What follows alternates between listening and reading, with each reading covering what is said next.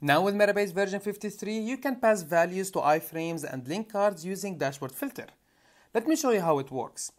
This is a dashboard for our YouTube videos. We have an iframe to preview the video and a link card, both using a variable.